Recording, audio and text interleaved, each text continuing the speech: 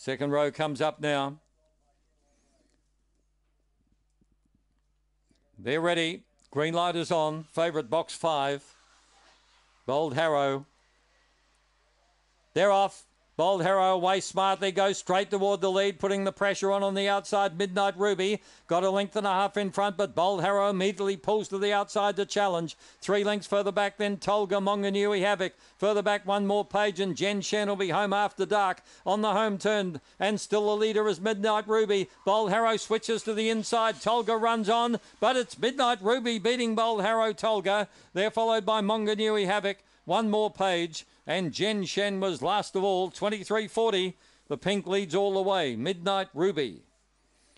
David Broadhurst winning a double. One earlier with Daniels Kelly. 10.85 the first split. Eight the winner.